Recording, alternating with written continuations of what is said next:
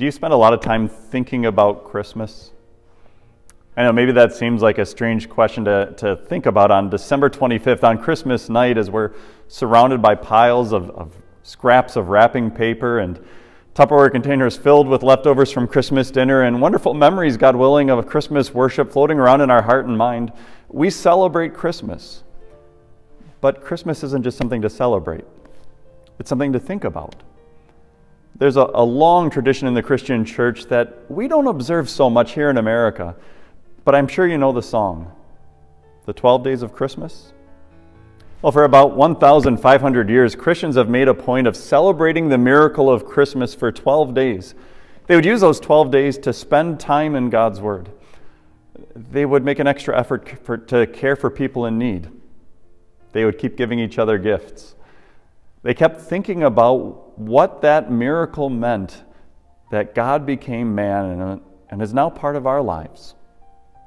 So, for these next 12 days of Christmas, uh, we'll be posting short video devotions like this online.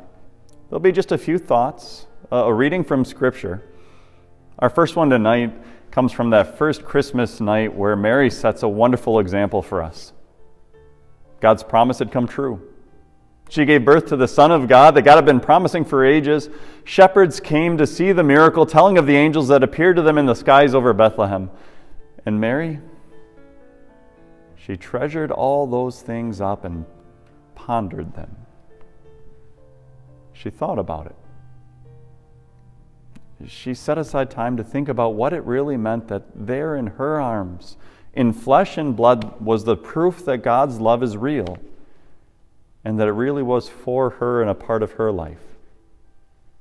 God bless you over these next 12 days as you think about that. The Word of God recorded in Luke chapter 2.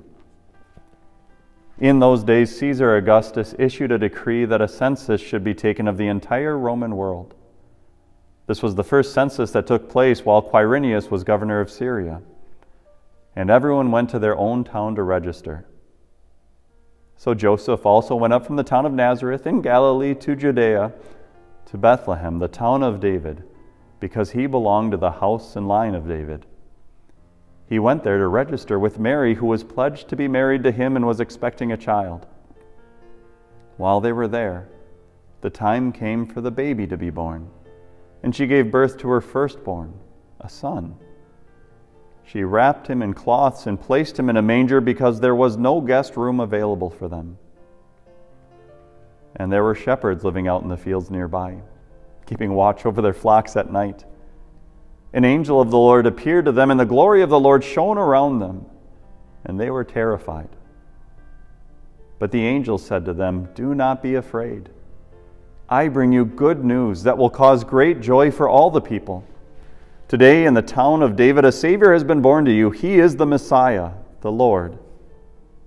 This will be a sign to you.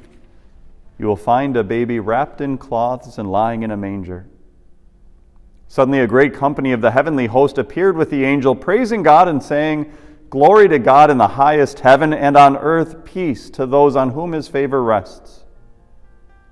When the angels had left them and gone into heaven, the shepherds said to one another, Let's go to Bethlehem and see this thing that has happened, which the Lord has told us about.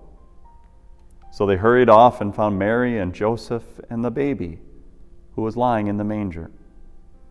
When they had seen him, they spread the word concerning what had been told them about this child, and all who heard it were amazed at what the shepherds said to them. But Mary treasured up all these things and pondered them in her heart.